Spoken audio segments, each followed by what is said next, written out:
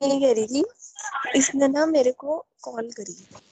इसने मेरे को करी कॉल तो इसने ना मतलब ऐसी नॉर्मल बात चल रही थी फिर एकदम से उसने उसकी बात छेड़ी। कहते कि देख इसने मुझे लिखी हुई मैं पोजेसिव हूँ ठीक है? मैं पोजेसिव हूँ और कभी कभी मैं बहुत ज़्यादा पोजेसिव हो जाता हूँ अपनी गर्लफ्रेंड को लेके। मतलब वो मेरे को बोल रहा था एक तरह से मतलब जिस तरह से बात करते कर रहे थे तो मतलब ये था। श्वेता! बात छेड़ता है ये, ये अपनी पुरानी बंदी।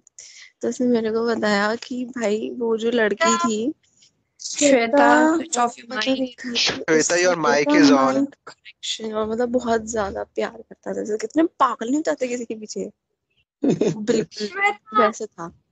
कहते हैं कि वो बंदी सिर्फ़ मेरे को यूज़ कर रही थी। और मुझे मुझे बात पता भी नहीं मतलब ये था कि उसको पता थी वो जब भी उसके साथ था। ये था। कि मतलब वो बंदी के पीछे में इतना पागल था कि मतलब ये था कि वो सेक्स एडिक्टेड थी लड़की। तो कह रहा था कि जैसे your mic is on Shweta your mic is on Shweta same same ऐसे ही हुआ था उसके साथ लेकिन लड़के के साथ सोच। श्वेता भाई मतलब ये था कि कह रहा था कि वो बंदी ना सेक्स एडिक्टेड थी। उसने मतलब ये था कि फ़ोन कर दो यार। ऐसा कर दिया था। कहता कि वो होता है ना कि मतलब वो जैसे कहते हैं ना अट्रैक्शन सी बिल्कुल फीलिंग वाले तो समझ रही है तू मतलब कैसे बताऊँ मैं तेरे को? हम्म। तो ये था कि उसने भी मतलब कर लिया मतलब लड़के ने भी कर लिया। ठीक है? मतलब हो गया था। तो मतलब उसने मुझे ऐसी आदत डाल दी थी करने की ये सब कि मतलब हर मीटिंग पे वो करती थी हर मीटिंग पे मतलब जब भी मिलते थे जब भी करते थे।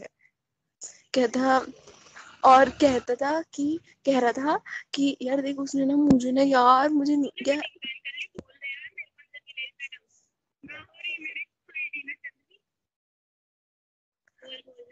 तुझे पता है कोई लड़का बहन राधिका कोई लड़का ना अपनी इतनी सीक्रेट्स इतनी सारी चीज़ें तक नहीं बताता। उसने मेरे को एक एक चीज़ें बताई है जो पता क्या कहता कि मैंने ना अपने खुद के बेस्ट फ्रेंड को नहीं बताई।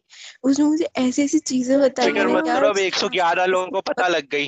अननोन पर्सन को या एक दो महीने की रिलेशनशिप में आने में कौन बता देता है ये सब चीज़ें तो खुद बताइयो। भाई माइक ऑफ़ कर ले।